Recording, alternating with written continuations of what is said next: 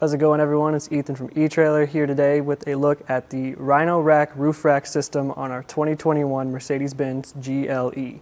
This roof rack system features crossbars that are 49 inches in length and use a raised rack tower.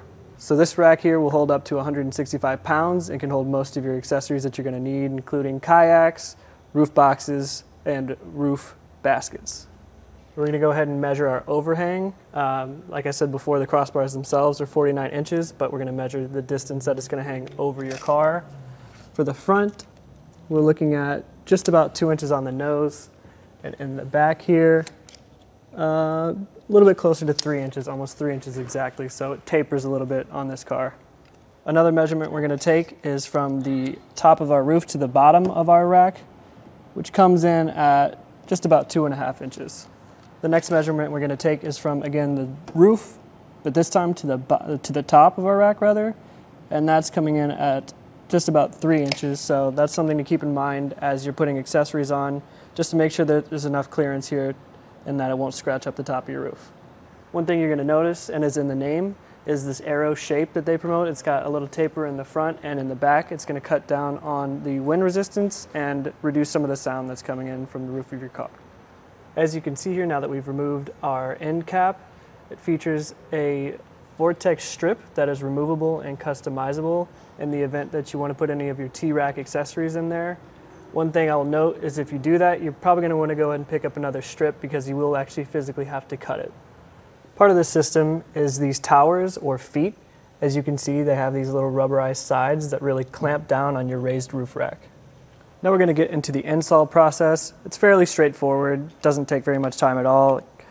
The system features a key and a wrench that it provides, but you're going to want to go ahead and grab a tape measure just to make sure that you get all the measurements you're going to need. So for the installation here, as you can see, we already have our back rack taken care of. We're going to start up here by getting the tower set up. So you're just going to go ahead and slide this guy underneath. This part will turn a little bit, so you're going to want to make sure that that's straight as you slide it in. Give yourself just a couple of inches of overhang and we'll fix that later. All right, so we're gonna go ahead and open this up and we'll get this loaded up on the roof. So we're gonna go ahead and lift this on over. I'm gonna use the seam in between the doors as sort of a visual cue for myself. And we're gonna try to find that on the other side and slide this back if you need to. We're gonna go ahead and get a measurement for our crossbar spread. Here we have about 28 inches. So in our case, in most cases, that'll work for most of your accessories that you're going to be putting on the roof rack. For our case here, it actually is good enough to where it's not going to block the moonroof, so that's just an added bonus. We have 28 inches as our crossbar spread on this side. You're going to go want to go ahead and verify on the other side that it's 28 inches as well, just so everything's parallel and lined up. Now we're going to go ahead and measure our overhang. So from the front here, we're looking at an, about a half an inch we're going to go ahead and verify that that's the same on the other side. Now we're going to go ahead and tighten it down. So the provided tool actually has this torque lever. So you can see as you turn it, this will straighten out. And once it becomes a straighter line, that's how you know it's a pretty solid torque and you don't want to go any further than that. We're going to go ahead and put in our end caps now. They lock with this provided plastic key. Now would be a good time to mention that you can upgrade to a metal core instead if you want a little bit more security. After you get the end cap on, you can go ahead and give it a quick shake, make sure everything is nice and secure. Once you have that, it's just about installed and you're ready to hit the road.